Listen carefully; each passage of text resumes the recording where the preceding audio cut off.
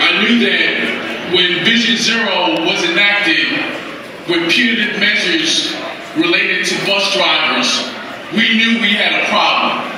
Also today, I will be introducing a bill that will protect bus drivers in Vision Zero when they have these accidents to make sure that the police department do not arrest them when it is an accident.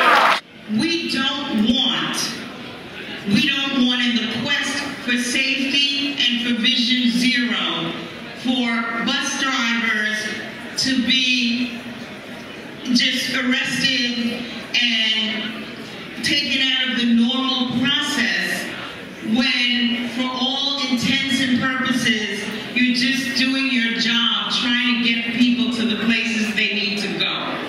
Uh, Vision Zero really had a singular purpose. Uh, we wanted to reduce speed limits. We wanted to make sure people weren't speeding. We wanted to save lives. We wanted to have speed cameras in our schools. But you want to know something? I read every law, and I was the sponsor of that law. And never in any way did that law ever dictate that you should be arrested for driving a bus any place in the city of New York without any negligence. That's wrong,